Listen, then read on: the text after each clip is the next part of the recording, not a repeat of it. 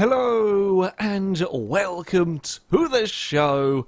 Now, there was a time when this Hill Climb Monster series was ruled by the Italians, the Lancia Stratos and the Lamborghini Countach were 1 and 2 on our leaderboard. However, times have rather changed. Those two are still in the top 10, uh, still very, very quick times. They're currently 6th and 7th. Uh, not that far off the leaders, no, it is all very close here. However, yeah, the Italian cars have slumped down the table a little bit. And today, we are potentially going to try and change it with our first Alfa Romeo to tackle this course. And it's certainly quite a spectacular one. This is the TZ2.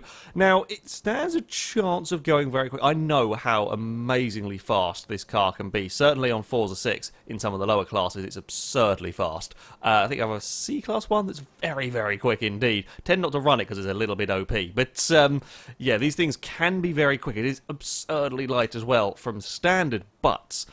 I don't know how much power we're going to get into it uh, because, yeah, it may pick up PI points very, very quickly on Horizon 3. It starts off as a uh, mid-ish C-Class car, but I do suspect it's not going to stay there very long. Right, so we're going to start off with a drivetrain swap. Of course, we're going to have to have the vehicles as all-wheel drive. We are then going to put it on some snow tyres that are likely to jump the PI all the way up into A-Class. Uh, kind of fairly common for vehicles in this in this series. Now, what are we going to get tyre width-wise? Two four fives at the front. Not too bad. And we're going to get two eight fives at the rear. Yeah, considering the car weighs one and a half thousand pounds, it's not too bad at all. Uh, for for tyre size, we are going to want Forza Aero. As much as I don't really want to uh, ruin the looks of a beautiful classic Alfa Romeo, I want Forza Aero on the car. It does give you uh, advantage in terms of speed for next to no PI. So we're going to be having it. Uh, we do want some nice race brakes, so we are going to want some off-road suspension. Likewise, we are going to want race anti-roll bars, and we're going to want the roll cage. Uh, the cars, cars like, well, to be fair, I'll put a roll cage on just about everything. It gives you that little bit extra chassis or rigidity is always a good idea to uh, to have have that running. It makes it slightly heavier, but I mean, there's no weight to this car anyway. Now, engine-wise, uh, what on earth are we going to do with this? Um, I don't know. I don't know how much power the standard engine can get. Uh, before we start messing around with that, shall we just have a look at what our options are? Okay, Turbo Rally 3.2 i6 will fit in and will stay within PI. Okay. Now, they are both heavier options. Uh, and I, pro- I wouldn't go for the Turbo Rally engine. I'm kind of disappointed there's not a big V8 that can go in this. I feel like one of the V8s should go in this, and uh, that would be quite good fun to uh, to have in here. I'm not sure the standard engine is going to get a huge amount of power, is it? Um, it's not going to be enough to get it to the top of S1 class. Okay. Well, this is good news for the Alfa in terms of being very quick because we are going to have to go for the 3.2. Now, this is, again, this isn't the greatest engine, I'm going to be honest. Uh, however, it is going to be a damn sight more powerful. It is a little bit heavier, yes. I think we can probably get some weight out with uh, the likes of the exhaust. Um, yeah, we're going to have a huge power to weight ratio. Considering we've had cars run up here with about four or five hundred horsepower that have weighed kind of two and a half thousand pounds. That's this is a big power to weight ratio we've got going on in this car. And that could make it very fast. It's got decent sized tyres. I know how good the chassis is. I know how good handling this car is to begin with. So there is, I mean, bloody hell, this is getting a lot of power. Not a huge amount of torque, but that's just the, uh, yeah, that's what you get with this i6. That's a lot of power going on in this, uh, in this car. Well, I, yeah, this could could just maybe give that BMW something to worry about. It's a big maybe. Uh, we'll just go through and see if any of this will uh, will get the diff, of course. Sometimes you can sneak these sort of bits on without it uh, changing the PI. Uh, now it says that the you know that's uh, a big improvement in speed. The gearbox that it comes with may have short gear ratios. It's not going to matter. The course we're driving around, you're not going to go more than 130 anyway. Even the fastest cars don't. So yeah, we don't have a problem with it uh, buzzing the limiter. None of those parts will get on the vehicle. Well. The Alfa Romeo is ready to go, and I think stands a very good chance of uh, restoring some Italian glory to our leaderboard. So we are here at the Devil's Corners hill climb with our car. I'm going to get three runs up the course to try and go as fast as possible. Now, the current leader, the BMW 507, has a time 155.9. That is a second faster than anybody else up this course. It is a mighty, mighty quick car.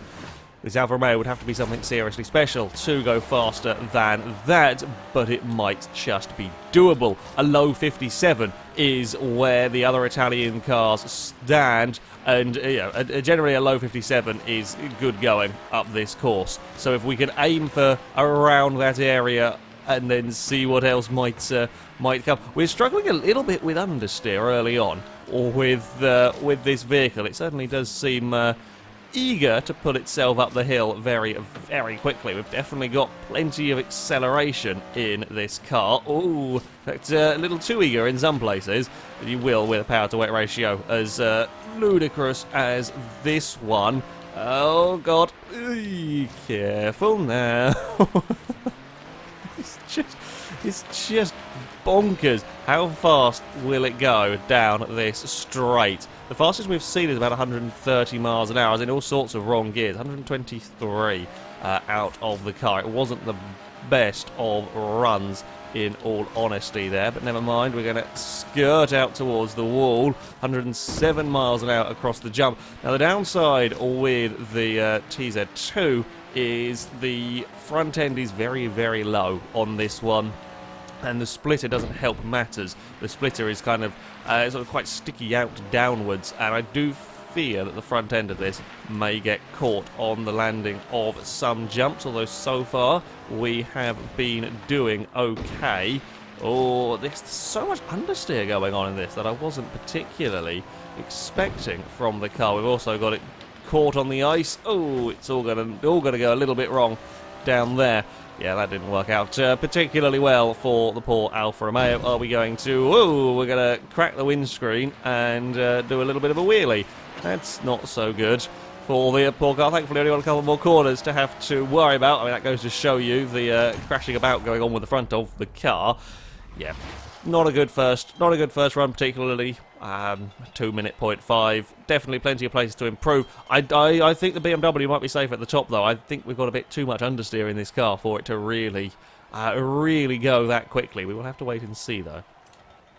So, as we head on to our second run, I think I need to uh, do a little bit better job of dealing with the understeer. Gear ratios are very, very short indeed on this car. 125 miles an hour before jumping on the brakes there.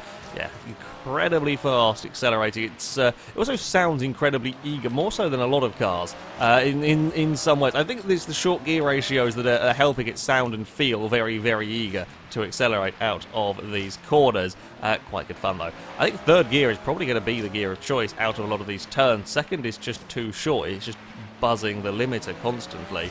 Uh, and there we go, out of the next turn. Yeah, I'm liking it. I'm liking it as a car to drive up here. It is a shame, though, that we're struggling so much to get the front end turned. It's... Yeah, I mean, yeah, we've got we've got bigger tyres at the back than we have at the front. It's a fair difference, but certainly not the uh, the biggest difference we've seen. Hell, the Countach had absurd differences, and that was still very, very fast indeed.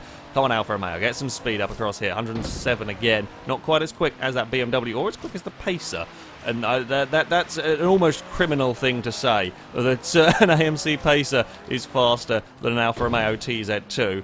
Sadly, it is also the case, and I've got it all sorts of wonky. That was my bad. Across the jump, we were all mispositioned, and uh, that's not good for the hairpin. Yeah, third gear is definitely the one to uh, the one to be in. Now, I am going to have to have a little bit of a a kind of a break. I think I may have got... Oh, we just brushed the uh, thing on the way past. I thought I might have missed that checkpoint.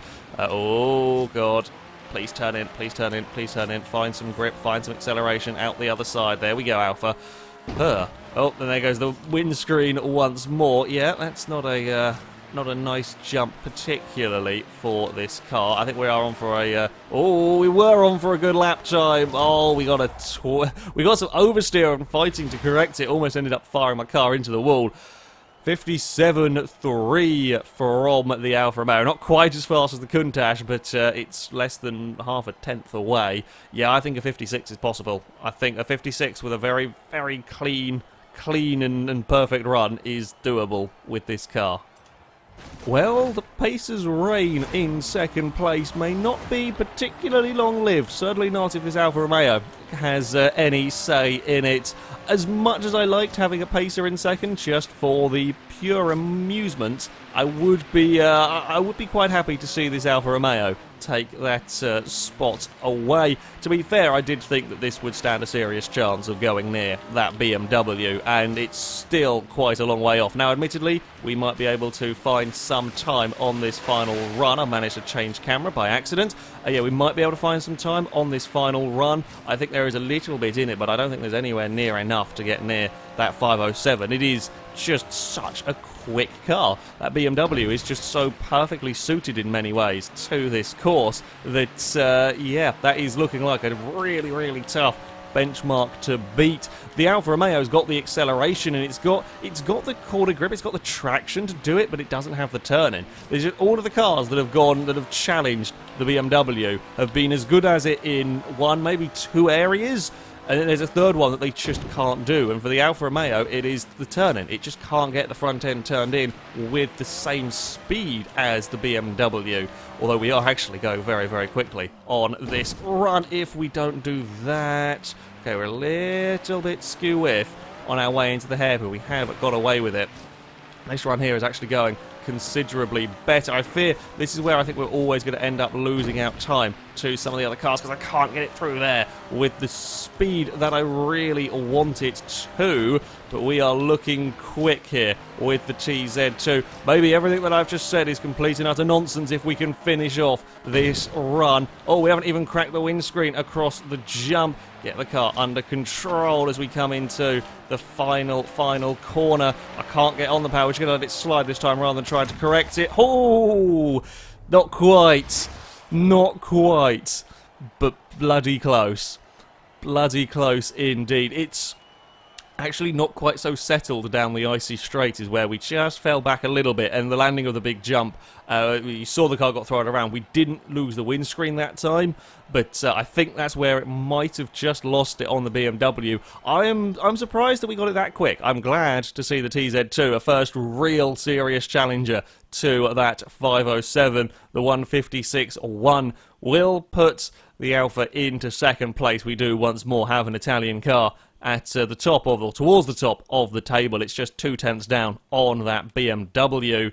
Not quite enough in it, though. Uh, yeah, I, am slightly surprised to have found so much time. Uh, dealt with the understeer a bit better on that run, was able to carry some more quarter speed. It is not as nice to drive, I don't think, in some regards, as that 507. It does have traction, does have phenomenal acceleration, but the understeer uh, is a bit difficult to deal with, and this is coming from me who likes understeery cars in general. So, yeah, it's uh, not the easiest one to drive. I think what ultimately might have cost it that couple of tenths is, well, it's a very, very low slung classic race car, and some of the bumps and the, the landings of the jumps weren't particularly kind to it. I said at the start I was concerned the likes of the front bumper, the front splitter, and so on might get caught on the ground and that landing coming up towards the second to last corner was very awkward. There's not much I can do once the car's well, the car's in the air. I've got nothing I can do with it, and it is a rough landing zone. We've seen cars doing wheelies down there with the Pontiac, and we haven't quite got the control, perhaps, with the Alfa Romeo. It was a little bit fighting there and down the icy straight as well. However,